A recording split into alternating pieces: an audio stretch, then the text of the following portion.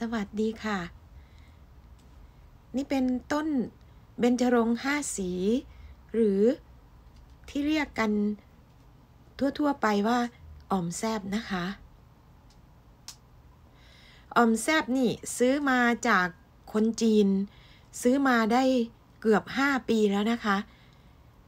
ตอนที่เดินไปเห็นนั้นดีใจมากๆ คือจำได้ว่าเป็นใบอ่อมแซบเพราะว่าตอนที่กลับไทย ปีหนึ่งสองเดินไปไหนตามซอยในหมู่บ้านเนี่ย มีอ่อมแซบทั้งนั้นเลยค่ะ แล้วก็ไปเจออยู่ ตรงซอยหนึ่งมันเป็นซอยร้าง เขาซื้อที่ไว้แล้วคนไม่มาปลูกสร้างอะไรเลยอะค่ะออมแซบเป็นดงเลย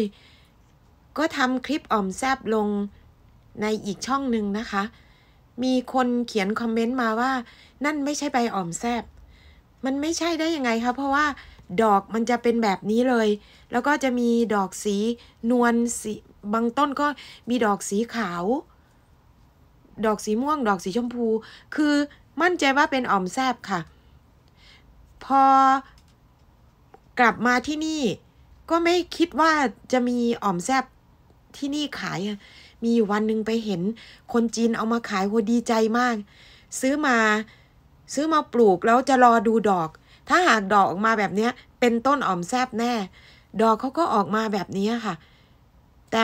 ดอกจะไม่ดกเหมือนที่เมืองไทยนะคะ เนื่องจากว่าที่นี่อากาศไม่มันไม่ร้อนหลายเดือนค่ะ แล้วอีกอย่างหนึ่งปลูกอยู่ในห้อง ซึ่ง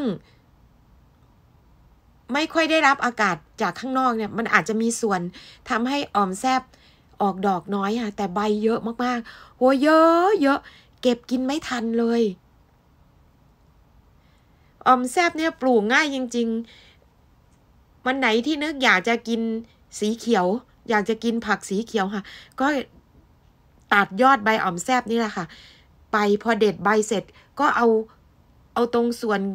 ก้านน่ะ เอามาปักลงในดิน ก็งอกเป็นต้นใหม่ โอ้ตอนตอนเนี้ย มีต้นออมแซบอยู่เยอะมากเลยค่ะ กินไม่ทัน พอออกดอกก็ดีใจ